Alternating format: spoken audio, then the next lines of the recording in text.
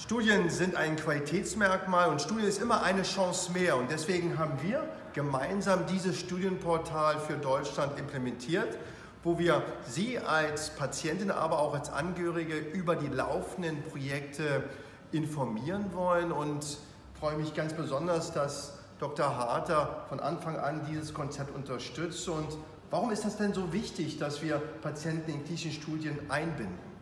Also ich denke mal, das sind mehrere Aspekte ganz wichtig. Zum einen haben dadurch unsere Patienten auch die Möglichkeit, sich wirklich darüber auch unabhängig zu informieren, welche Studienmöglichkeit habe ich denn überhaupt in Deutschland. Wo finde ich das denn so, was ich sagen kann, ich gehe auf eine Seite und da weiß ich ganz genau, welche Studiendesigns sind denn überhaupt für mich passend. Zum Zweiten ist es so, ohne Forschung kein Fortschritt. Und wir können mittlerweile auch sehr, sehr viele wirklich interessante neue Konzepte, neue Behandlungsmöglichkeiten innerhalb von Studien anbieten.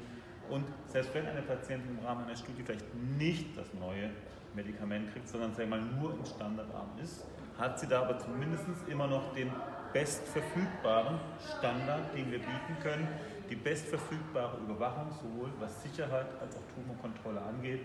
Das heißt eigentlich hier wirklich nur Vorteile durch eine Studienteilnahme und wir haben innerhalb von AGO und NOGO 100 Kliniken in Deutschland, die Studien anbieten und hoffen, dass da auf jeden Fall für Sie alle was dabei ist.